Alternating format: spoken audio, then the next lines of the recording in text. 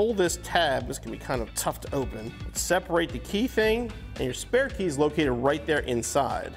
Now for 18 and up, they made it way easier. You basically just squeeze here, and the key comes out of the bottom. But basically this little slot right here underneath the piece, what you're gonna do, separate your key, and you're gonna slide that up inside. As you push up the key, you'll feel a little bit of resistance. What you're doing is pushing against the clip. So what you'll do now, when you're pushing against that clip, you're gonna grab this piece and slide it this way.